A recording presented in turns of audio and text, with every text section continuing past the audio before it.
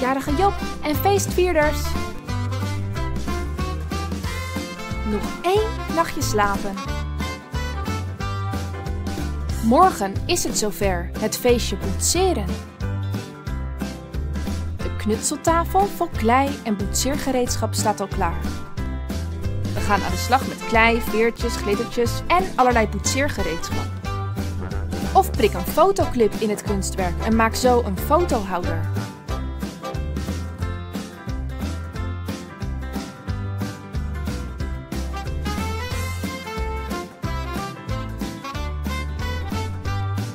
Tot morgen!